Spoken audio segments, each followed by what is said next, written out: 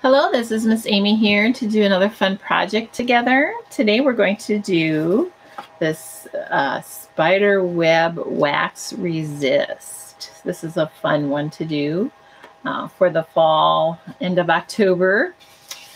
So what we need for this project is we need a piece of watercolor paper, and I recommend a piece of just plain white paper so we can practice drawing our spider web before we put it on our watercolor paper.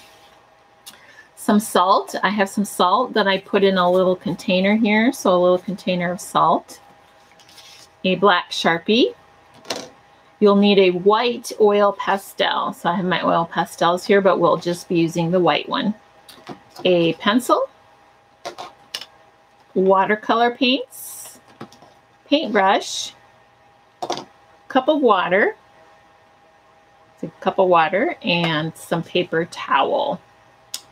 All right, so let's get started on this fun project. Um, we're going to practice making our spider web on plain paper first, and then we know how to draw it on our other paper.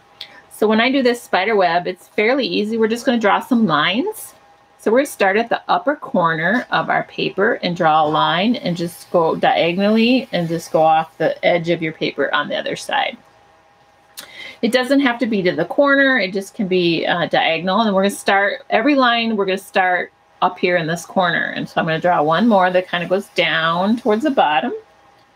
And one more that'll go this way off my paper. Okay.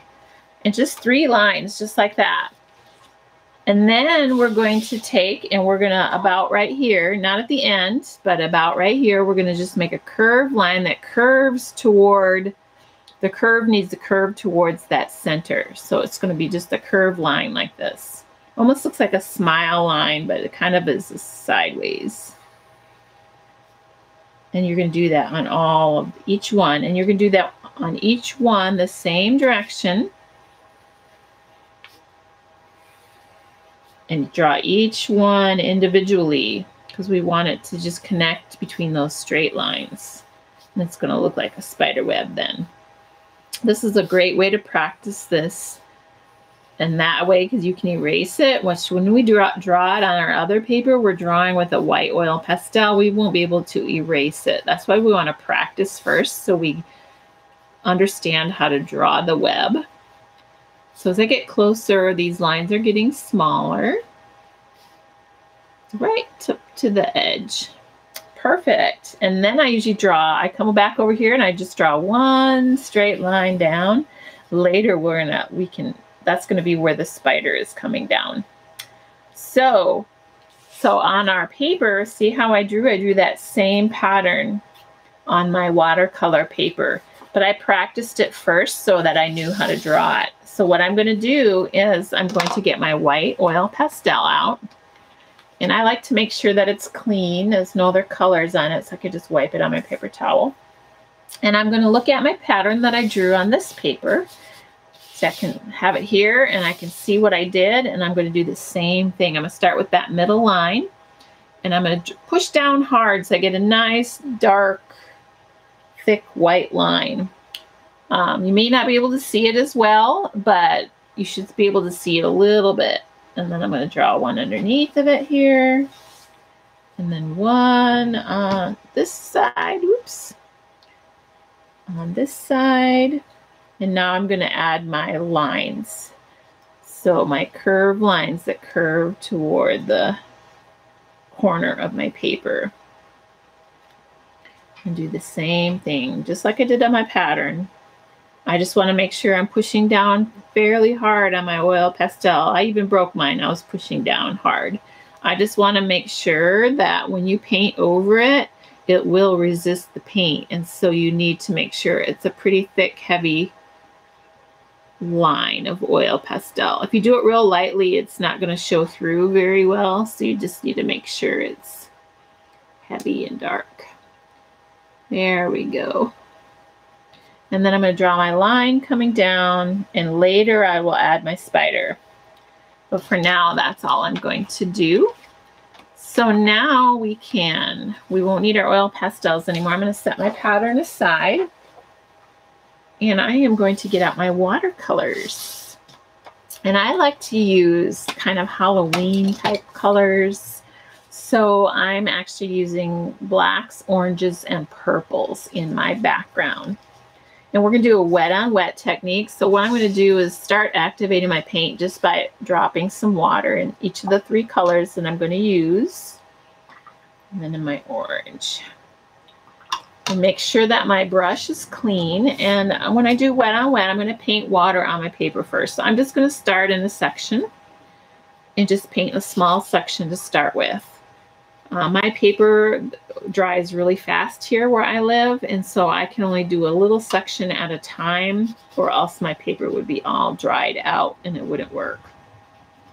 So just add some plain water, and then you want to um, get some color on your brush, and then just tap it into the water, and it'll start spreading around and filling in where you put that water. And don't worry about the oil pastel. Just paint right over the top of it like it's not, not even there. Oh, that's a really cool what the paint did there. So I'm going to do that. Get some more paint. Fill that all in. See if you have enough water on your paper, your paint's going to fill that in. If it's not run, filling in that water, then you need to add a little bit more water to your paper to get a nice, to get that paint to move and do that. And then what I do uh, is I usually sprinkle a little salt just in a little area. Don't overdo it, just a little bit of salt here and there. It's going to add some really cool texture to your paper. Um, this you'll remove it after it dries. So now I'm going to do another section here. And I am going to overlap into the color that I already did. Just add my water. It's okay if that spreads out a little bit. Add another little bit of water here.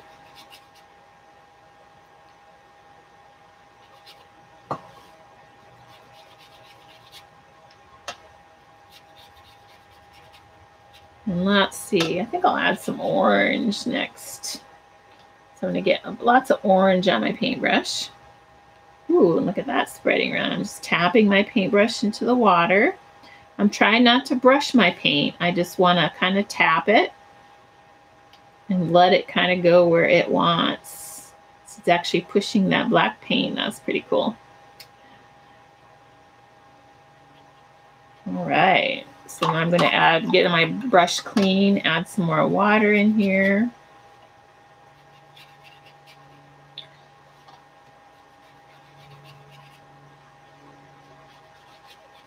I'm going to add some purple in the middle there.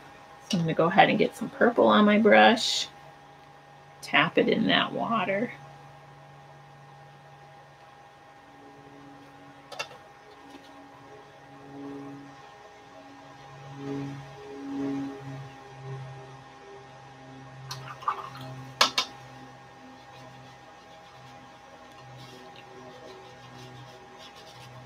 some water in here.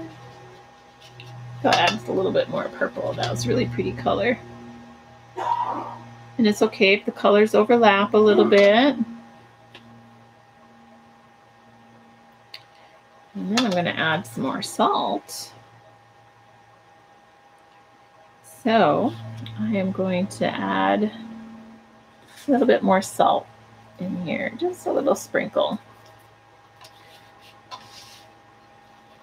All right. Add some more water.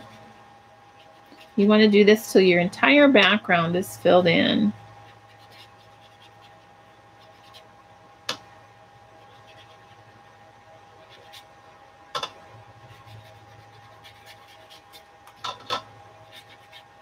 I think I'm going to add some more orange there.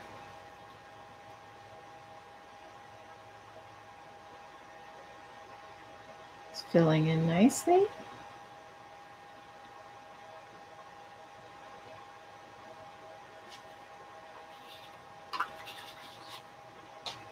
Plain water.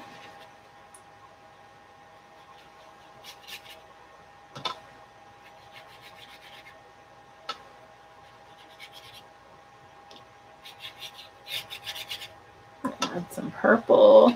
Ooh, I'm getting low on purple here.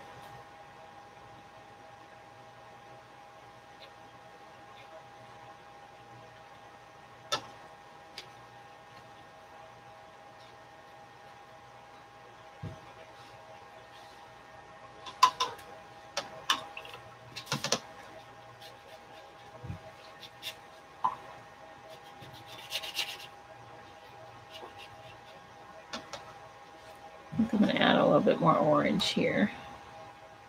This is where I'm going to draw my spider later. And I don't want to have black spider on black background. So I'm just making sure that I used a lighter color where my spider is going to go. And then I could add a bit more black here at the bottom. There we go.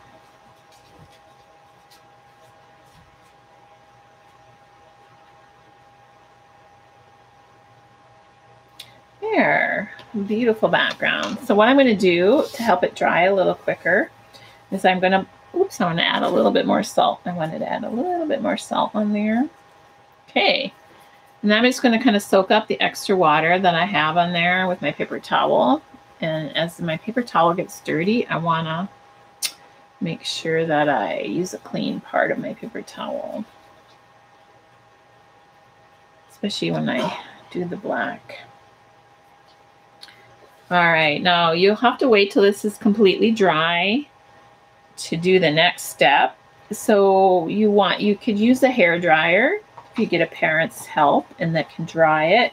Once it's completely dry, you want to brush all your cell off. So on this one, I brushed all my cell off and you can see kind of some texture there that the salt left behind. It soaked up some of the paint right there, some really cool texture. And then what I did is I took, um, I had a picture of a spider, a silhouette, and I just drew my silhouette with my Sharpie. So once it's dry, you can just take your Sharpie and color in, make your, draw your spider and just make sure that you fill it all in solid with the black Sharpie. And you can look up a picture of a spider or you can just draw from your memory what you think your spider will look like because different spiders look different. And I just made him hanging there on the web and it's cute little spider there. And that is all there is to that project. It's a very fun um, seasonal project. So I hope you had a fun time with this one. And always, I enjoy seeing pictures of finished projects. So feel free to send one my way or uh, let me know what your project looks like. So thank you for joining me today for this fun project. Bye-bye.